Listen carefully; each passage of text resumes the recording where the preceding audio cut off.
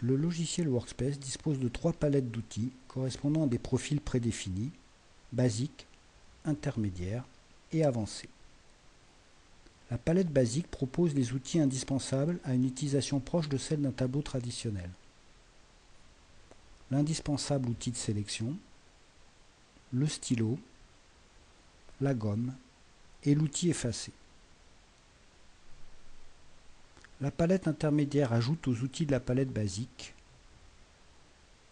le surligneur, les outils de création de formes, de lignes et de texte, ainsi que l'outil Annuler la dernière commande. La palette avancée est beaucoup plus fournie que les précédentes. Parmi ces nombreux outils, il faut souligner la présence du mode Annoter sur le bureau, de l'outil de reconnaissance d'écriture et de l'outil de remplissage. Lorsqu'on devient un utilisateur régulier du tableau, on éprouve vite le besoin de disposer de sa propre palette.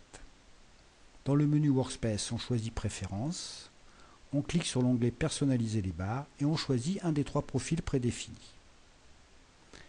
Pour définir notre propre palette, nous allons partir du profil intermédiaire et y ajouter l'outil Annoter sur le bureau. Dans les outils disponibles, on clique sur l'outil désiré et on le glisse à l'emplacement souhaité de la barre d'outils principale. On valide par OK. Il faut alors donner un nom à cette nouvelle palette. Notre palette présente l'inconvénient de ne plus avoir l'outil page précédente et l'outil page suivante côte à côte. On peut réorganiser l'ordre des outils dans la palette.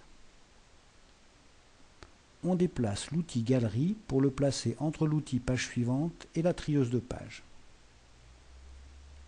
Nos outils page précédente et page suivante sont à nouveau côte à côte. Dans une salle de classe partagée par plusieurs professeurs, il est facile en début de cours de sélectionner son profil personnel et de disposer ainsi de ses outils habituels.